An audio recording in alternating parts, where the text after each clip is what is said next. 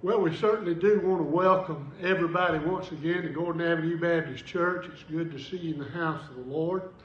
And it's good to be back in the house of the Lord. Amen. Now, I am so grateful and thankful that we can live stream and that we can uh, still have church whenever we can't come into our building.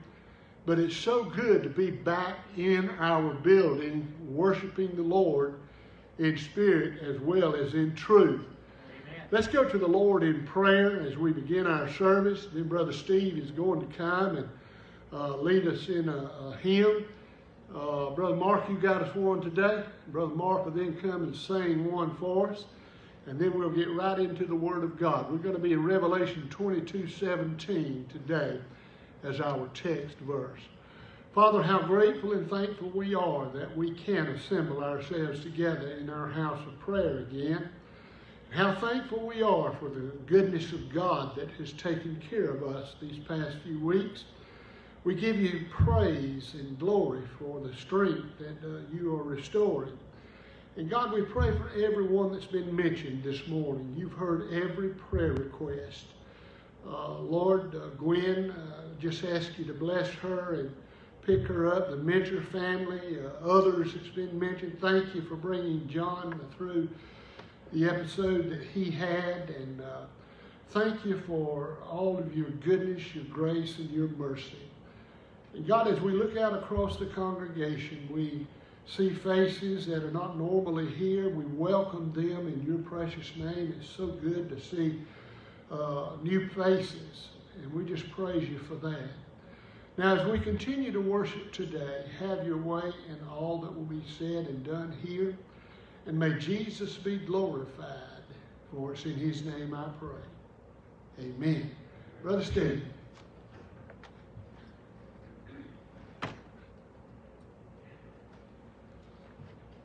We'll take a hymn, we'll turn to page 595.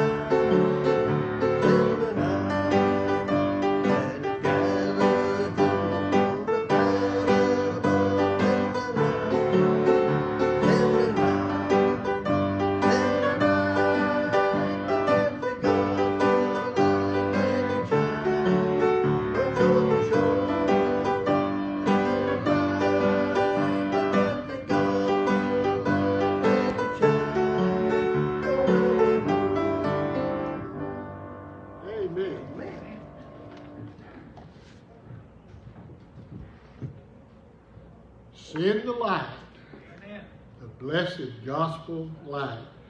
Mark, as you get ready to come, uh, let me invite everybody to go ahead and turn your Bibles to Revelation 22.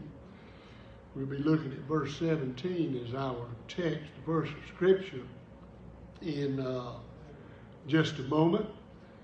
Uh, it's good to uh, have Mark Terry here this morning. Been missing you all. Praise the Lord. Glad to see you back. And listen, all of these new faces I mentioned in my prayer just a few minutes ago, thank you all for being here. I tell everybody you can't visit us but one time, then we love you so much you're just a part of us. Amen. Amen. All right, Brother Mark, you come and bless us with a song.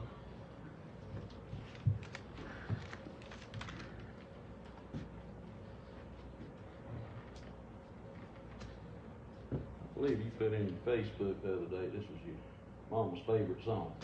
Oh, I'm gonna do this for you, all right? All right. Okay, Barry.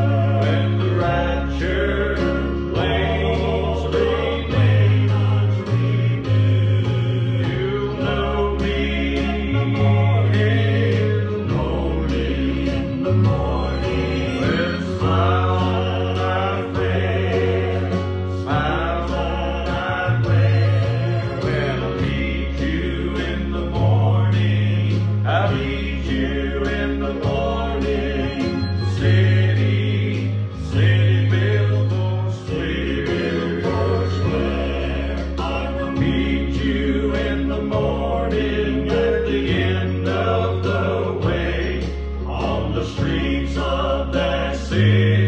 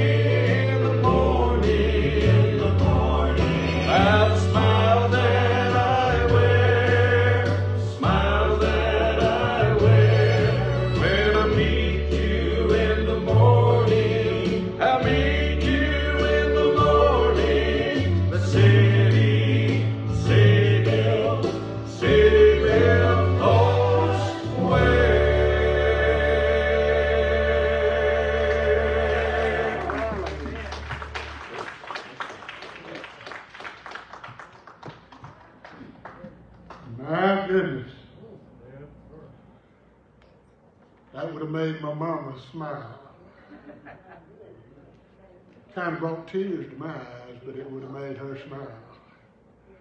Because one day soon, I'll meet her in the morning. Revelation chapter 22. I want us to look at verse 17.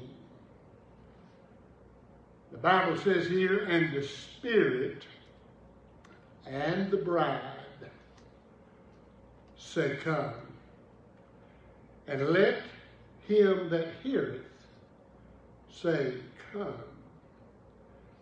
And let him that is athirst come.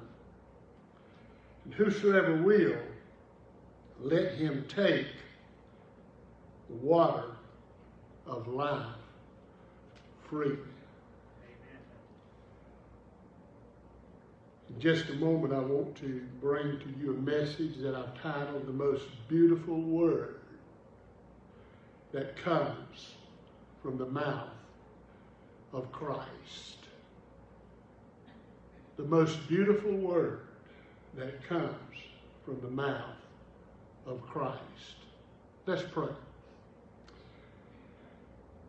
Father, for so many years we have taken for granted our freedom to assemble in a house of prayer. Until that is taken away from us. And what a joy it is to be able to be back in our little house of prayer. We have a number of people that are still away from us, and we miss them. And we do know that they tuned in by way of our live feed, and we're grateful for that. But we long for the day that the tape can be taken down, the social distancing can stop, and that we can have a neck hugging, fellowshipping good time in a house of prayer once again. But until that day comes, O oh Lord, let us continue to just give each other that holy wave and hug each other from a distance and love on each other from a distance. God, we pray for the soon destruction of this old terrible disease that's invaded our land, our world. May you take it and cast it into the depth of hell, never to come against us again. Thank you, though, dear Lord, for what you've used it for, because there has been an awakening, and we praise you for that. Now the vessel is weakened, Lord, by things that we've been through, but thou art strong. So be strong in the vessel today, O Lord, and use it for your glory. In Jesus' name, amen. Amen. You know, I'm always thankful for the opportunity God gives to me to preach the Word of God. I must confess to you that I don't claim to be a good preacher. I am what I am by the grace of God. But I will say this to you there's just nothing like being able to preach the Word of God and to be able to look out and see faces. One day I'll be able to say, see smiling faces again. Amen. There's nothing like it. It seems so good to be back in our church just even though we're socially distanced, just to be able to see you and not to be preaching to a computer screen. Now, don't misunderstand me. I'm glad we had that that we could use because God has used it. And uh, while I couldn't see you all, I could see when you tuned in. And so we're thankful for that. But it's good to be back in church. Amen. And by the way, we're going to go ahead and plan Wednesday evening services again at 6 o'clock. We're going to see how this Wednesday goes. Uh, and if we have enough people to uh, be a part of the service, uh, we'll continue to do our Wednesday evening services. We're not going to have Sunday evening services at this time. But uh, we will continue our 1030 services on Sunday morning. Now let's get into the Word of God. Amen.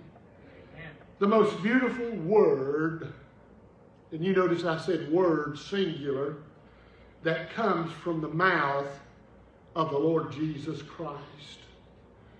Now, what single word, when uttered by God, is like music that goes throughout all of the heavens? Think about that.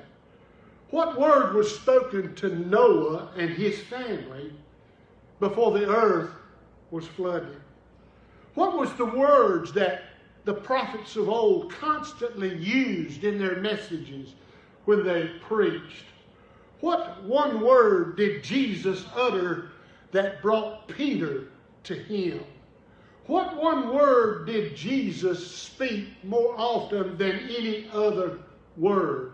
What is that one word which, when obeyed, brings joy to the angels in heaven? What is that one word when it is disobeyed that brings sorrow to the heart of Jesus? What one word sums up all the gospel story?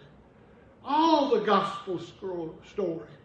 That one word that is probably inscribed over the gates, the pearly gates of heaven. What is that one word? That precious word is the word come. Come. It is the great word of the gospel that is uttered by our Lord time and time and time again. Now, go is the word of the law, thus showing the gap that is between God and us. But you see, my friend, the gospel bridges that gap. Boy, we're glad of that.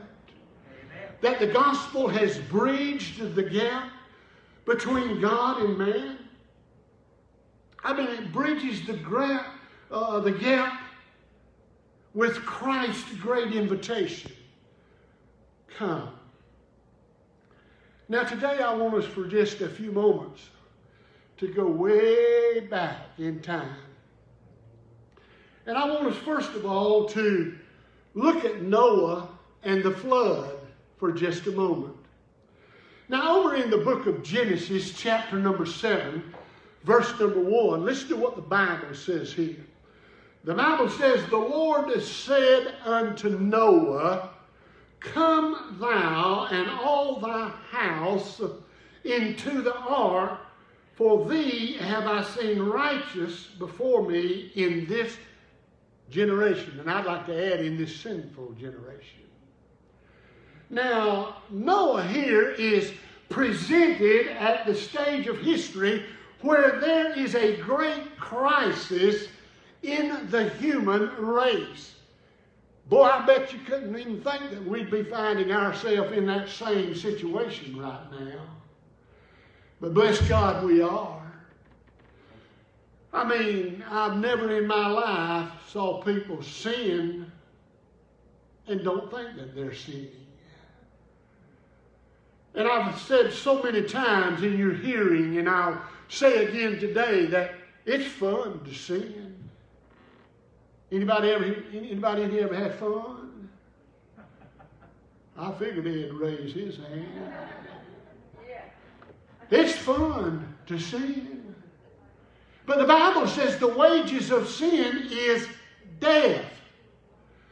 And the great evangelist Freddie, Freddie Gage preached for many years uh, sin thrills, but then it kills. Sin fascinates, but then it assassinates. Now, the people had left God during this period of time, and after looking all over the world, God found only Noah, only Noah that was still loyal and faithful to Him.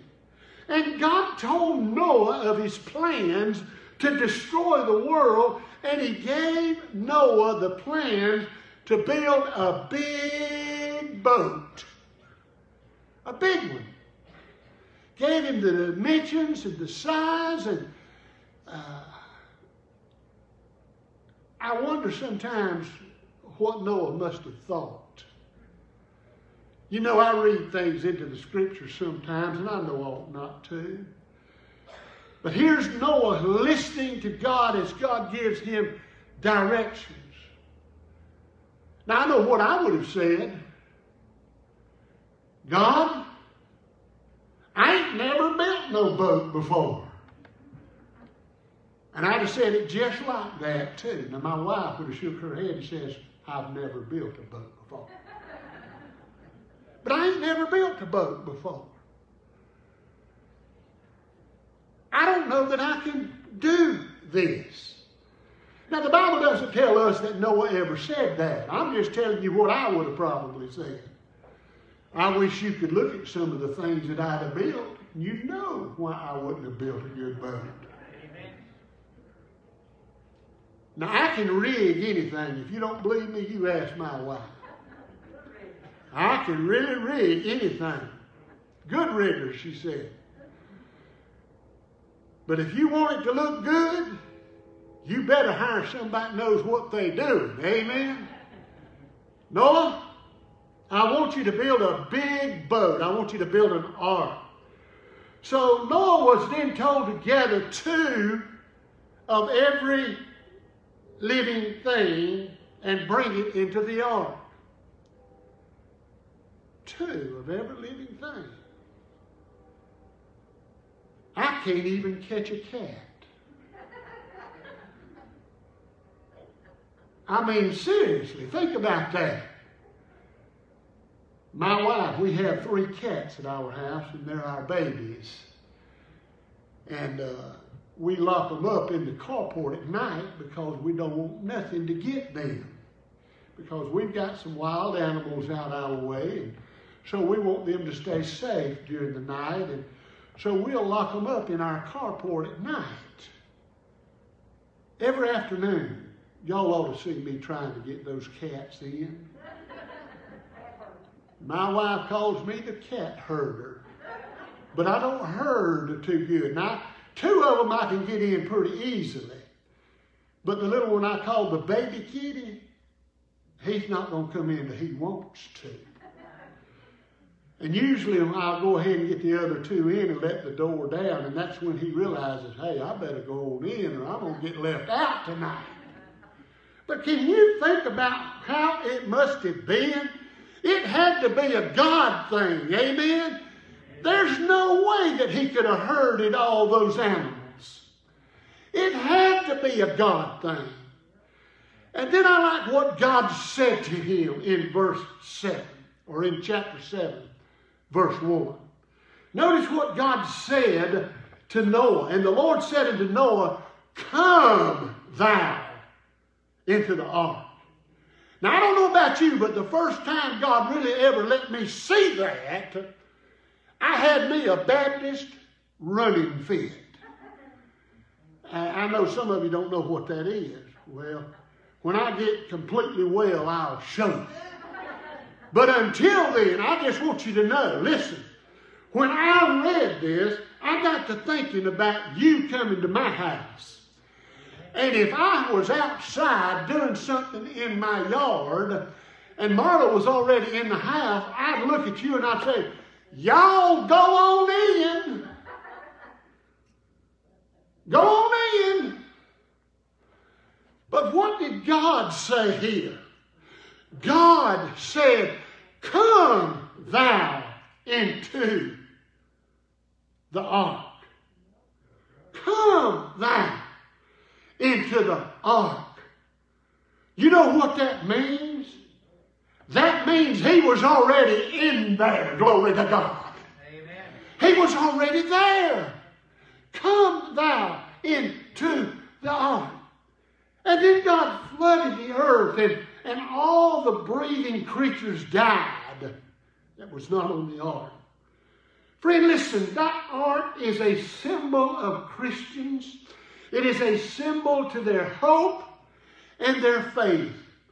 Today, in a way, the church of the living God represents that ark.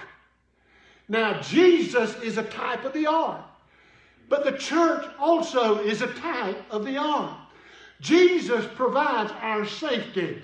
The church provides the message of safety. Amen? So the church represents that ark. God is saying to us today, just like He said to, to Noah and, and all of his family, come into the ark, thou and all thy house.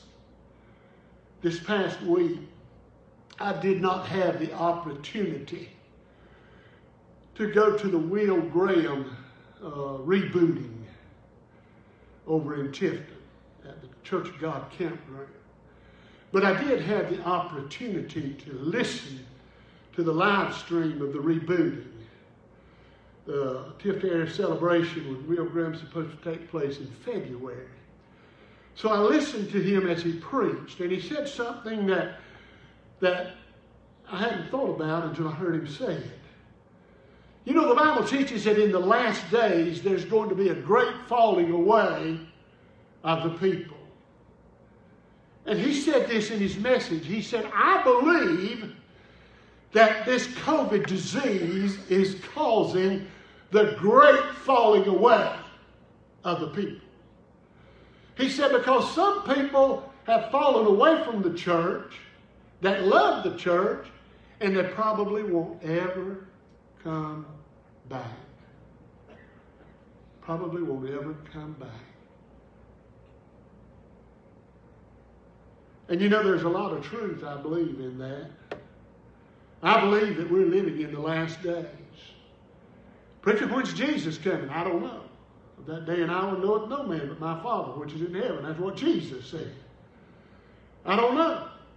But all the signs of the times, of the soon return of the Lord Jesus Christ is very present in this modern time that we're living in. Come thou into the ark. Come thou into the church of the living God. Come thou and the house. He's still in the saving business. Come. Come. Oh, that beautiful word. Come thou into the ark. Now let's move a few hundred years forward. And let's go to Mark chapter 10, verse 46. And let's look at Christ and Bartimaeus for just a second.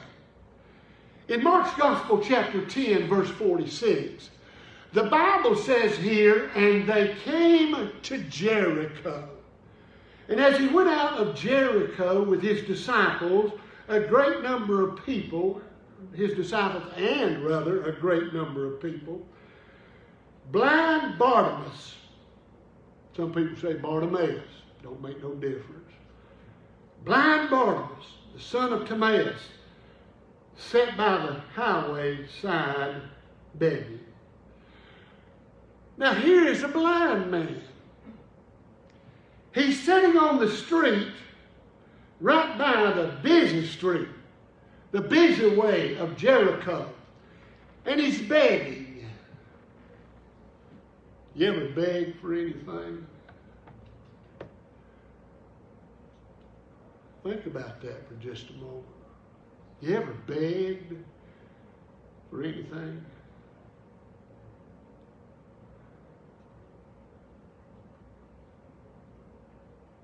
Very few of us ever begged for anything because we've been so blessed with everything. Amen. And usually the things that we beg God for, many times we wish we hadn't got after we beg God for it. I carry you back to the 1963 Plymouth Valiant. Ugliest car that was ever created. I drove one for free. My daddy bought it for me, paid the insurance and everything, but I wasn't happy. So I begged God for a new car. And God let me get one. But you know what come along with it? It wasn't brand new, but it was new to me. 1968 Super Sport Impala Chevrolet. Wish I had it now. Beautiful car. But you know what I got with the car? A payment book. I didn't ask God for that. But here's a man begging.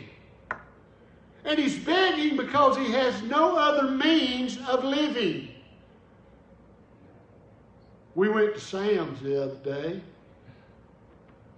I thought I'd died and went to heaven. It'd been that long since we'd been out. And you know, as we're getting back onto the interstate start back home, we bought a few grocery items that we needed. And as we're getting on the interstate to come back home, there's a fellow standing right out in the middle between the exit where you get off and the exit where you get on with a big sign Help. I need help. I'm hungry. We're seeing that more and more now. Now, I had the opportunity to serve as the assistant director and chaplain to Brother Charlie Rescue Mission a number of years ago for Brother John Gibbs. We had a fellow that uh, that came into our establishment. Brother John always insisted that everybody that come into the establishment work. He had a big sign up over the kitchen He that doth not work doth not eat. And so he always found little odd jobs for the men that were staying there. And we had this one gentleman to come in. And he said, I'm not going to work. Brother John said, Well, then just go ahead and pack your stuff. You're going to have to go. You can't stay. Looked at Brother John. He said, I probably make more money in one day standing in the medium of an interstate with a sign than you do all day long. Now, they are professional bums. You need to understand that. But then there are those that stand in need. And I've always said, when God lays it on my heart to give to someone that I see with a sign, I've never failed to stop and give. We were riding in Tifton one day uh, a number of years ago. I remember seeing this fellow where we turned left to uh, get off of 82 and go over toward the shopping center. There was a guy standing there with a sign, and he said, I'm a United States military veteran, and I need help. I had one $5 bill in my pocket, and I pulled over because God spoke to my heart, and I handed him that $5 bill because God spoke to my heart and led me to do that. Don't ever fail to give to someone who's begging if God leads your heart to do so. Because, friend, He'll bless you beyond measure. But make sure God's leading your heart to do it. Amen. But here's a man, he's begging. And he heard that Jesus was passing by. So somebody had told him about Jesus. And he called out, Jesus of Nazareth, thy son of David, have mercy on me. There were many others shouting that day. Think about that. There was a crowd around Jesus. There was many other people shouting that day, calling, making much noise. But Jesus heard this voice out of the many. And the Bible teaches us that he stood still. Jesus, the Son of the living God, he stopped to hear this voice of sorrow crying out. Jesus told his disciples to call him and tell him to come to me. Come. There's that word, come. Jesus then asked the blind man what he wanted. It was answered by the blind man to see. Jesus says, Go thy way, thy faith has made thee whole. Three things Jesus did here. Number one, he was passing by. Boy, we're glad that he always passes by. He may be passing by you this morning as the preacher attempts to preach this message. He may be passing by you right now. He may be passing by you that's watching by way of the live stream. Jesus passes by. Number one, he passed by. Number two, he stopped. How many of you remember when Jesus stopped by your house? How many of you remember when Jesus reached down into your heart and saved you? You see, he stopped. And then number three, he called for the blind man to come. The blessed invitation has always been come, and it will continue to become the most beautiful word ever uttered by the Lord Jesus Christ. The word come. Now, what if blind Bartimaeus had not called upon Jesus? What if Jesus had not told him to come? Jesus is passing our way. And it may be very, it very well may be, listen, that this may be the last time for some. Do you know the Bible says his spirit shall not always strive with a man?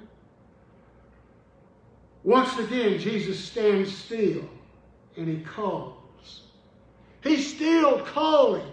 And the message is still come, come. And all we have to do is come to Him. Amen. Third and last of all is the last come of the Bible. Revelation 22 17, our text. And the Spirit and the bride say, Come. And let him that heareth say, Come. And let him that is athirst come. And whosoever will, let him take of the water of life freely. Now, there are many, many, many, many more times that the beautiful word come has been spoken.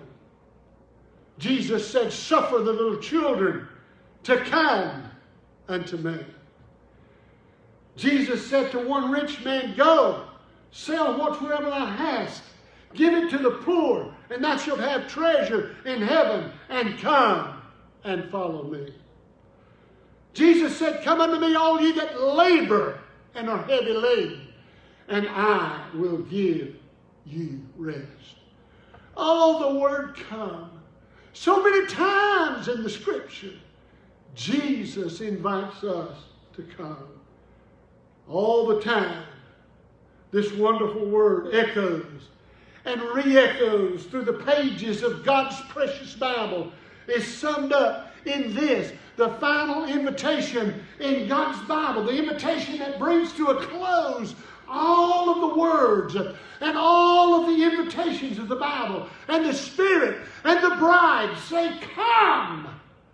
And let him that heareth say, Come. And let him that is athirst come. And whosoever will, let him come and take of the water of life freely. Water is used by God to describe beauty, necessity, and it is used as an invitation to whosoever will partake of God can experience His wonderful grace, His wonderful mercy, His wonderful salvation. Come and take of the water of life freely. Now, as we close, listen. The word come is the gospel in a single word. That word which God spoke to Noah, which spared his life from a flood when everyone else's was taken. Through the pages of history, prophets, apostles, and preachers like me, we've all said, Jesus is still saying, come. The Bible tells of the cross, the crucifixion, the death, the resurrection, and God sums it up all in one word come. Such a beautiful word, so full of tenderness, so full of love, so full of compassion. Come.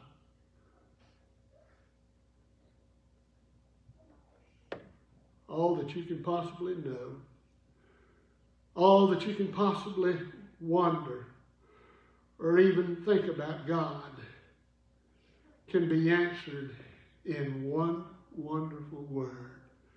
He stands with his arms open wide and he continues to say to the human race, I love you, come. I love you, come. So, whatsoever your need may be today, his invitation has never changed. It's still come. No other word needed. It's still come. Everyone, let's stand to our feet. If you need something today, you come. Come. Father, thank you for this powerful message. Use it for your glory now in Jesus' name. Amen.